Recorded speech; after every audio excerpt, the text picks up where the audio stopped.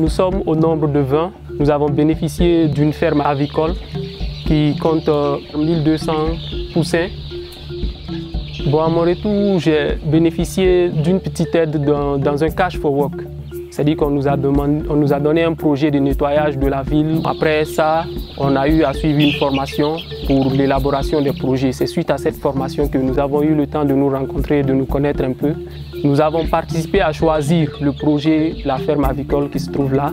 nous sommes d'abord à la première phase. Actuellement, nous avons des poussins que nous devons élever et entretenir. Après cette phase, nous avons la phase de production. Les poules commencent à produire des œufs, généralement à partir du sixième mois. Euh, nous allons enregistrer un nombre de 12 mois de production d'œufs, ce qui fait au total 18. Après les 18 mois, euh, c'est-à-dire que les poules seront matures et qu'elles ne seront plus en mesure de produire des œufs. En ce moment, il serait nécessaire de revendre les poules. Le technicien, au fait, il s'occupe lui principalement des poussins. Nous, ce que nous faisons, c'est un peu la main d'œuvre autour de lui.